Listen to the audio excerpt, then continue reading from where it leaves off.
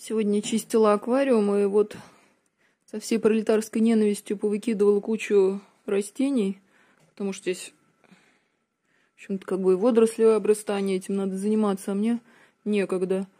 Вот выкидывала, выкидывала, обнаружила, что у меня сом есть, которого я уже на самом деле мысленно похоронила несколько лет назад, а он есть, сейчас покажу.